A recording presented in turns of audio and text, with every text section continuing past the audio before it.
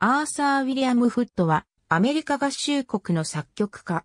ペインやチャドウィック、パーカー、エイミー・ビーチと並ぶ第二次ニューイングランド楽派の作曲家の一人。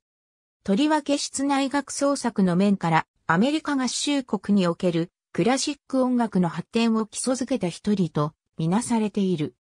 ハーバード大学で最初に音楽学の学位を取得した人物としてアメリカ音楽史上にその名を残しており、19世紀末のアメリカ人作曲家には珍しく、若いうちにヨーロッパで作曲の研鑽を積んだことがなかった。魔女狩りで有名なマサチューセッツ州セーラムにおいて、ジャーナリストの家庭に生まれる。母親がフットの幼児期に急死したため、父親によって育てられた。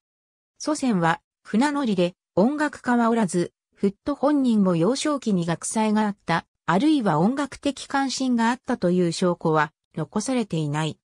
1867年からボストンで個人教師にピアノや和声を学んだ後、1870年にハーバード大学への入学資格を得て、ジョン・ノールズ・ペインに対位法、フーガ、作曲を学ぶ。1874年に卒業後、一時帰郷。翌年よりピアノ教師として活動を開始。1876年にバイロイトを訪れ、ワーグナー作品の上演に接している。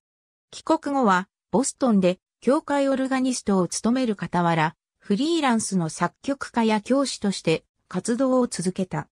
2冊の火星論を上司しており、かつてはアメリカの音楽教育者や音楽学生に音楽理論家として知られていた。フットは保守的な作曲家であり、自らワーグナーには感動させられるが、その作品に学ぶべきものがあると感じたことはないし、ドビュッシーの初期作品を認められるようになったのも遅かったと実感している。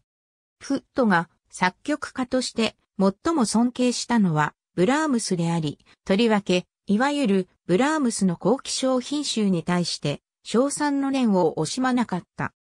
音楽的な趣味が保守的なものであったため、フットが同時代のヨーロッパにおける新音楽の流れについていくことはなく、作風においてもロマン主義音楽の伝統を堅くなに牧首することを良しとしていた。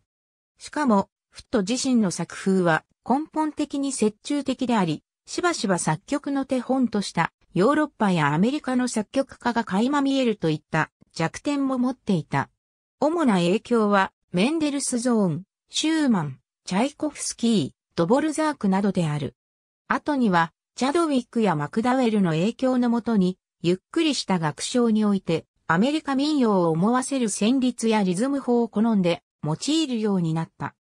若い頃には、旋律の変化に乏しく、転調がぎっこちなく、ややもすれば、干渉に傾きやすいなどの嫌いがあったが、後年のいくつかの代表的な室内楽曲では、そのような欠点が克服されている。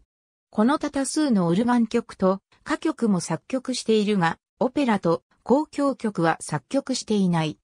1890年代後半からフェノロサラの影響で、ボストンの指揮者、とりわけハーバード大学の卒業生の間で異国趣味が流行すると、これに乗じて、オマル・カイアームのルバイヤートによる性格的商品集を作曲した。ボストンにて没した。ありがとうございます。